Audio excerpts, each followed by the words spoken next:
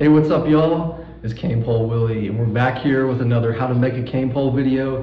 This is the second step.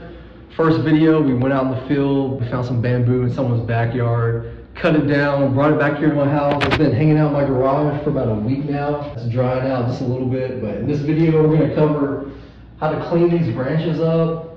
It's real simple, you just chop them off, gonna use a Dremel to shave them down. Then we're gonna talk about drying it out. I'm about to roll the intro, and let's get into it.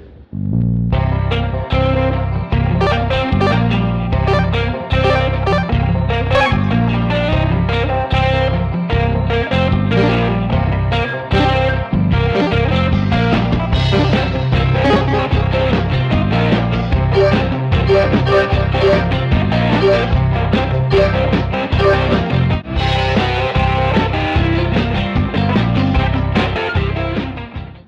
first let's talk about tools of the trade. We got some power tools we're gonna be working with, so you can get some nice gloves, safety goggles.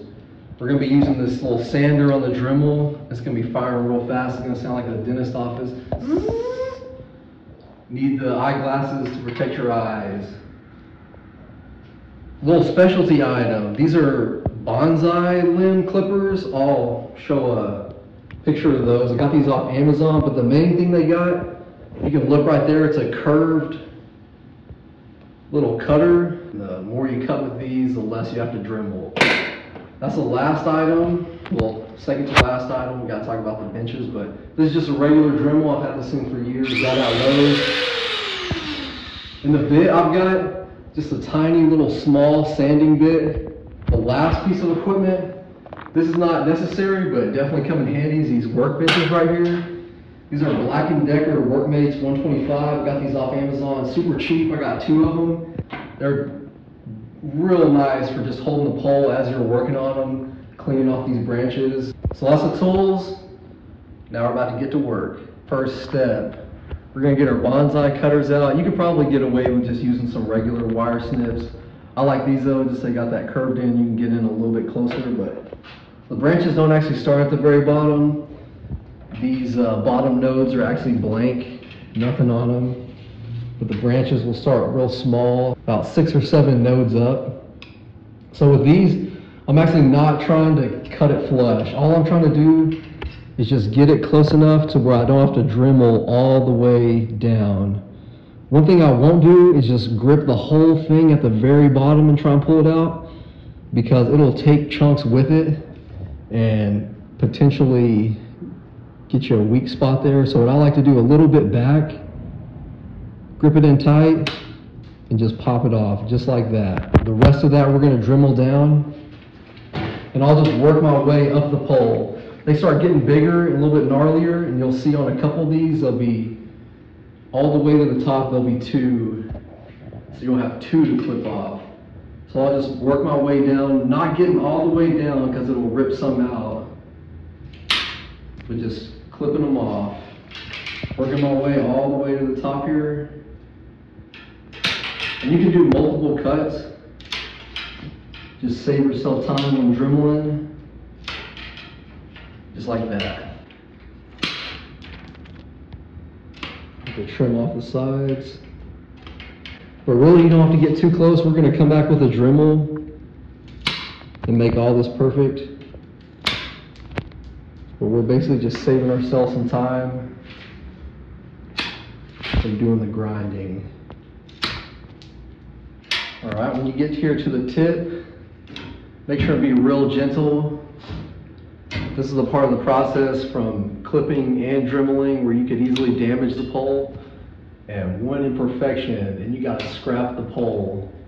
So it's real important to just take your time, take it easy. You really don't have to get close at this part of the process. There we have it, we just roughed it all out. All right, this next step, we're gonna want the bamboo clamped in. We're about to be using the Dremel. It's gonna be spinning quick. So what I like to do, I like to clamp it in here in this workbench. Just clamp it in, nice and easy, don't have to be super tight. Or the branches run on opposite sides, so just make sure one's facing the top. And I'll go clamp this other side in, and we'll be able to work on all these branches all the way down. Go ahead and tighten this one up. And I really love these workbenches. I, th- I think they were 30. I'm not sure how exactly how much, but I think they made a Harbor Freight version that was even cheaper.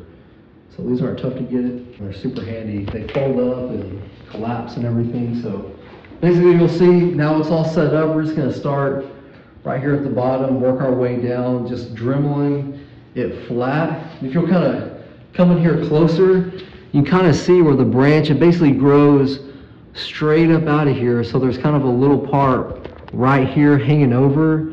And what we're gonna do is kind of put the Dremel down in there and get rid of that. All this raised up ridge right there, we're gonna get rid of that. As soon as we're done with this side, we're gonna flip it over and do all the branches on the other side going all the way down. i got my Dremel here with my little small sanding bit. I usually put in an audio book, headphones, whatever, just relax, just relax out here, take my time, and make sure I'm not uh, clipping the stock or anything, just smoothing it down so when the line runs across the pole here, nothing's catching. That's a nice clean pole after this.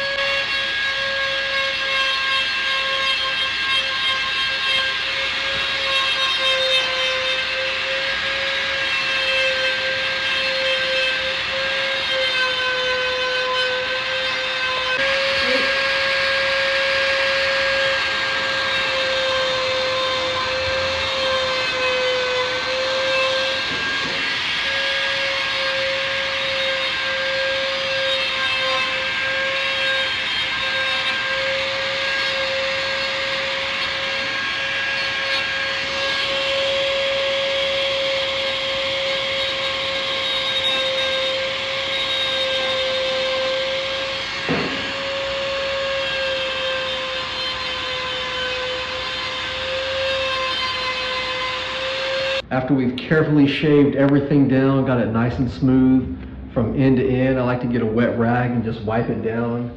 These poles have been in the elements for their whole lives, so they're gonna be surprisingly dirty. And this is just kind of the last part of the cleanup phase before we let it dry and straighten it. And it takes a while. This is a very long process to take it from a green pole like this to a very light, dry pole. We're gonna try and speed the process up with heat treating it, and that's part of the straightening process. And that's gonna be the next video. So we're gonna talk about drying it out real quick, and then we'll be done with this one. So we got us a nice clean pole. We've dremeled it, sanded it down completely, and it looks good.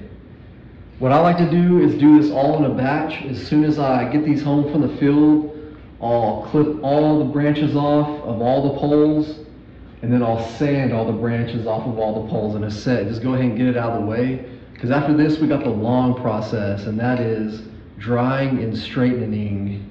So basically what we're gonna do, we're gonna let it dry out just a little bit. Not personally, I like to dry it, or I like to do the straightening anywhere from this green right here to this kind of faded look right here. It's the in-between phase of the final dry. And this right here is the heat treated phase. And that's where we get a lot of the moisture. I hit it with a heat gun, and then we use this tool to straighten it out. And this is the final look right here. So you can see right here, this is a faded one, fresh green right here. It fades to this, and then we're gonna take the heat gun to it, and it's gonna look like that after the straightening process, and we're gonna even dry it even more. But the way I like drying it, I'll just look for stretches of sun take it out to the driveway, just leave them all there. Make sure and flip them just so one side's not getting dry and the other side's not.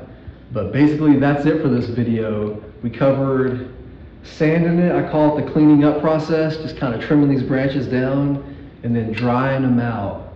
And we're gonna slowly just be drying these and straightening them up and soon we're gonna have some nice cane poles. Appreciate you guys tuning in. Be on the lookout for the next video, the straightening video, and I'll catch y'all on the next one. Peace.